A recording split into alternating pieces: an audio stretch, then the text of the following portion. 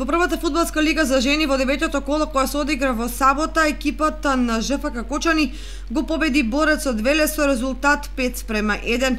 Двете екипи одиграа досаден надпревар во кој вредеа само головите, поради што и кочанчанки и велешанки се ногиат на дното на табелата.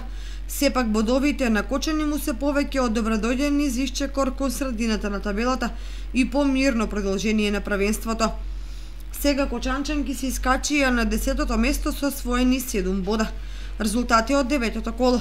Кочани Борец 5 спрема 1, Плачковица Тиверија 0 спрема 15, Атлетико Тетово 1 спрема 6, Речица Ас Юнайтед 0 спрема 0, Спортски центар Истатов Прилеп 1 спрема 0, Каменица Саса Топ Гол 3 спрема 2, Љуботен Драгон 0 спрема 10.